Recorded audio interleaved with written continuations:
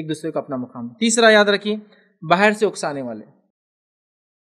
अभी बाहर से उकसाने वालों ने तो इतना रोल अदा कर दिया कि अभी शैतान को काम करने की ज़रूरत नहीं रही। तो भाई तुम तो छुट्टी ले लो। रमज़ान में नहीं, पूरा साल ले लो। हम लोग पूरे ज़िंदा है तुम्हारे लिए काम करने के लिए।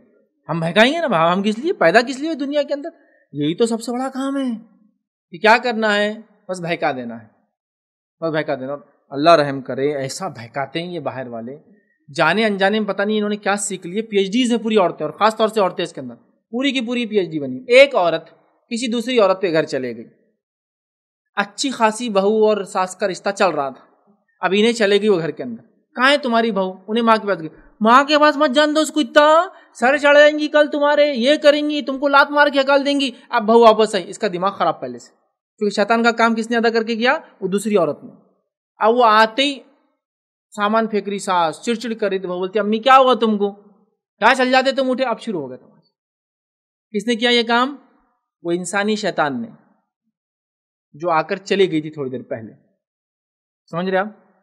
बड़ा मसला है बड़ा मसला है। हर आदमी अपना किरदार अदा कर रहा है ताकि ये दो लोग अलग हो जाए।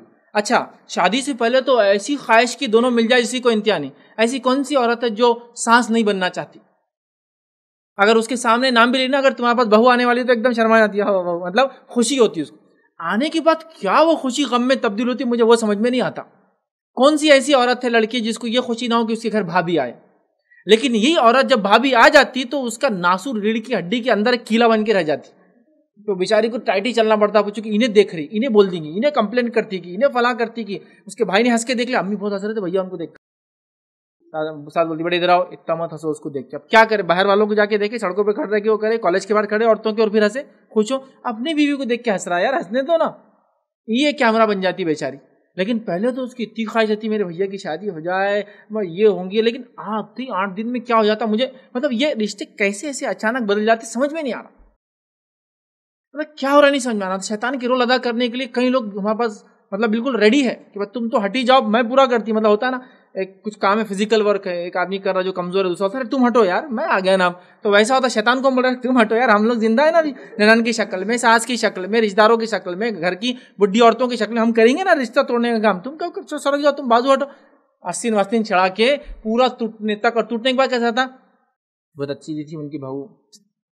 टूटने के बाद बहुत अच्छी थी जी उनकी बहू। कदर नहीं की उसने। अरे बाप रे।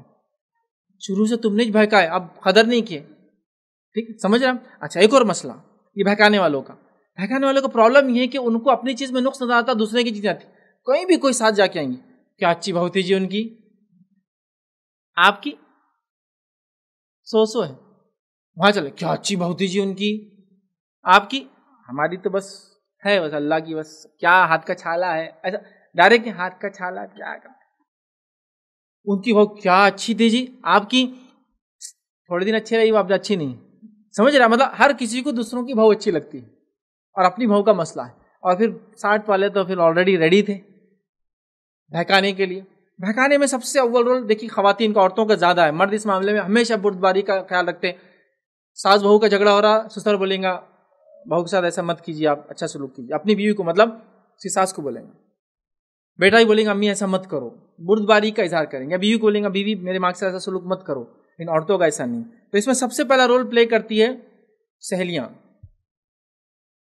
और वो औरतें जो आसपास होती है, शादी के पहले से इनका रोल चालू हो जाता बहकाने का। देखो तुम वो घर में जा रहे वो बहुत खतरनाक लोग हैं। जाते ही जैसा सांप की मुंडी कुचलते ना तो वो औरत जो बुढ़ी ना, तेरी सास सुनने से कुचल देना। तूने नहीं करी तो मसला होता। आप इन्हें यहीं से प्रोग्राम होके जाती कि मेरे को लड़ना है उधर जाकर। फ़र्स्ट डे से चूँकि इन्हें जाती घूर रही सास को। सासी परेशान, जो थोड़ी दिन अभी अच्छी रह रही, इसको क्या हो गया? अब बताती हूँ। अब ये तो पुराना झाड़ है। तुम तो अभी अभी की पौधे, अभी शादी हुई है तो तीस चालीस साल पहले लगा हुआ है। कहीं खड़े कर दी इसने दूसरे झाड़ छोटे छोटे अब तुम उचारी करेंगे, थोड़े दिन करती एक हफ़्ता। हो फिर जो बदला निकालती हो कि तुमने मुंडी कुछ लेते वो तुम्हारी दुम पकड़ के रखती बस। मुंडी नहीं कुचलती कभी। हो तो उसको मालूम उसके बेटे की बीवी है, जाने वाली तो नहीं छोड़ के। दुम पकड़ के रखती फिर और शाम की दुम पकड़ लो। देखो, जहाँ ले जाना चाहो चलता फिर। वो फिर ज़िंदगी भर परेशान। तो पहले ये सहेलियाँ बहका देती। पहले ये किरदार जो अदा करती ना जो, चाहते ये करना, तेरी ननन तो फला है, उन्हें बहुत चबरी है कॉलेज में मालूम फला है, पहले से प्लान क्या कर रहे हैं ये रिश्तेदार उधर भी काम करते मालूम। वो लड़की आ रही ना, उनके खानदान में, उनकी बड़ी बहन बहुत शानी है, उन्हें ये कर ली, घर अलग कर ली। तुम आते ही पहले बेटे को खसम खिला देना, अल्लाह की कसम बेटे तू घर नहीं छोड़ के जाएँगे कभी इसके वजह से। अब इन्हें साजी प्लानिंग करें। ये लोग कितना बुरा है ना? क्यों बदगुमाई रखते कि इंसान के बारे में? दो जुड़वा भी अगर है ना, एक जैसे नहीं रहते। जुड़वा है। एक को आम पसंद तो दूसरे को पूछो, बोलेंगे जाम पसंद। अरे, जुड़वा है तुम दोनों? मेरे को नहीं पसंद आता, आम वो बोलेंगे। इतना फ़र्क होता। दो जुड़वा है। दिखने में बहुत ज़्यादा हम शक्ल होते हैं जेनेटिकली हाँ? एक ही जीन्स के दो हिस्से होते हैं। समझ रहे आप? एक साथ पैदा होते हैं।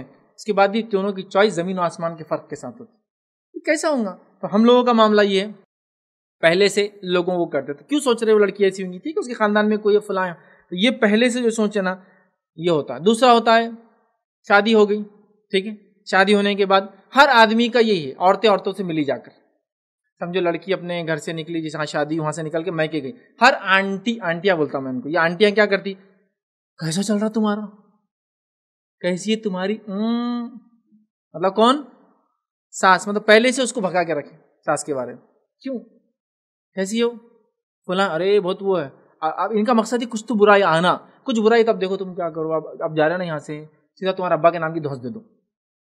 बोलो मैं छोड़ के चल जाती फला, ये बहकाने वाली सहेलियाँ, ये बहकाने वाली आंटियाँ, इसके साथ ही आसपास की औरतें, बहुत खतरनाक है। इन्होंने शैतान को बोले, तुम हट जाओ, हम तुम्हारा काम संभाल लेते हैं ना, हम ज़िंदा अब तक, हमें तुम्हारी क्या ज़रूरत है? ये रिश्ते में ज़रूरत ही नहीं तुम्हारी। बहुत एहतियात कीजिए ऐसे लफ्ज भी अदा ना करें जिससे आपको लगता है कि उस आदमी का दिमाग खराब हो सकता है उसकी बीवी के बारे में। कभी मत किसी। एक सास होने के नाते अपनी बहू के बारे में तो कभी नहीं, दूसरों के लिए भी कभी नहीं होना चाहिए। आइए नबी अकरम सल्लल्लाहु अलैहि वसल्लम क्या फरमाते हदीस को सुनने एक बार, बात समझ में आ जाए। सैल जाम सगीर की रिवायत है। नबी अकरम सल्लल्लाहु अलैहि वसल्लम फरमाया, जिसने शोहर के खिलाफ उसकी बीवी को बहकाया, जिसने शोहर के खिलाफ उसकी बीवी को बदजन किया, वो हम में से नहीं है। एक रिवायत में, जिसने किसी के गुलाम को उसके आखा के खिलाफ बात की, होता ना, बैठ गए कैसा है तेरा मालिक? नौकर से, गुलामों से करते थे लोग, ताकि बहकाए। वो जालिम हूँगा वो जुल्म करता तेरे पे क्यों? छोड़ दे, भाग जा, निकल जा मकातिब है ना, मैं कर देता, फला मेरे पास आ जा। जो किसी की नौकर को बहका उसके मालिक के खिलाफ, या जो किसी की बीवी को बहका उसके शोहर के खिलाफ, वो हमें से नहीं है, मुसलमान नहीं हो सकता। वो ईमान वाला नहीं हो सकता, वो मुकम्मल ईमान वाला नहीं हो सकता। क्योंकि बहुत खतरनाक बात है, बहुत खतरनाक बात है, ठीक है? बीवी को बदजन करे, बहुत खतरनाक, क्योंकि बीवी बदजन हो जाएँगी तो शौहर की अथॉरिटी नहीं मानेंगे और सारे प्रॉब्लम शुरू होते पूरे खानदानी झगड़े शुरू होते तो ये बात कभी हमको नहीं करना याद रखिए, और शैतान यही चाहता है मैंने हदीसा की सही मुस्लिम की रिवायत है, शैतान ने अपना तख्त लगा लिया एक पानी पर, उसके चेले चपाटों को रोज भेजता है, वो आके रिपोर्टिंग करते हैं, वो बोलता है, एक बोलता मैंने फुला किया, फुला क्या, बोलता तूने कुछ भी नहीं किया, तूने कुछ भी नहीं किया। क्या बोलता मैं पढ़ा रहा मियाँ बीवी के रास्ते में, यहाँ तक के दोनों को अलग कर दिया, उसको शाबाशी देकर था, तूने कुछ काम किया। तो ये आसपास वालों का बहुत अच्छा किरदार होना बहुत सख्त ज़रूरत है, और मियाँ भी से गुजारिश करूँगा, भाई, तुम लोग भी तो थोड़ा सेंसेबल रहो, कोई भी आगे भगा के चल जाएँगे, कैसे भाग जाते हो तुम इतनी आसानी से? वेरीफाई करो नहीं उसको तस्दीक करो उस बात को। मियाँ बीवी की भी गलती है इसके अंदर। लेकिन बहकाने वाला अव्वल गलत है। हमारा काम देखिए, मियाँ बीवी को ये बात याद रखना, हम दोनों एक कश्ती में सवार है, नफरत के समंदर में। हमको लेकर चलना है भाई बात को। झगड़ा हो गया तो कोई बीच में नहीं आता, मालूम आपको? सब बोलते भाई, तुम्हारा देख लो, हम बीच में नहीं आते। तो बहुत समझदारी और सेंसिबल होने की ज़रूरत है। चौथी चीज़ असलम आप भी हमारे इस काम में ताउन करें, अपनी जक़ात और सदक़ात के ज़रिए। डोनेशन डिटेल हासिल करने के लिए डोनेट अस पर क्लिक करें। अगर आपको हमारा वीडियो पसंद आए तो इसे शेयर करें और सवाब के हकदार बने। रोज़ाना हमारे नए वीडियोस पाने के लिए यूट्यूब चैनल को सब्सक्राइब करें और बेल आइकन दबाएँ। हमसे दीगर सोशल मीडिया पर जुड़ने के लिए वीडियो में दिए गए आईडीज को सर्च करें। जजाकल्ला